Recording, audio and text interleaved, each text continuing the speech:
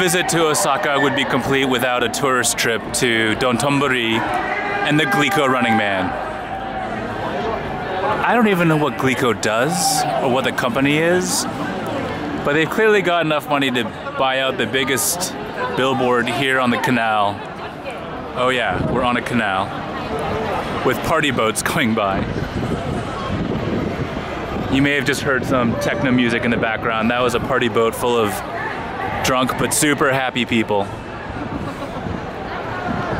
But let's go up these stairs, which lead us straight into Dotonbori. The Dotonbori Street runs parallel to this canal and is famous for all sorts of street food and yummy Japanese delectables. This is crazy, look at this.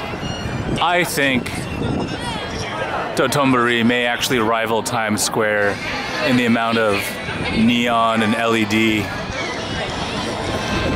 Um, look at this, you've got Jackie Chan with the movie premiere. Who doesn't love a little Jackie Chan?